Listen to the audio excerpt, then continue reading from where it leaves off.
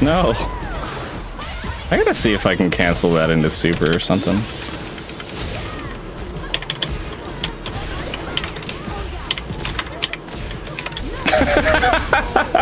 that sequence was so dumb.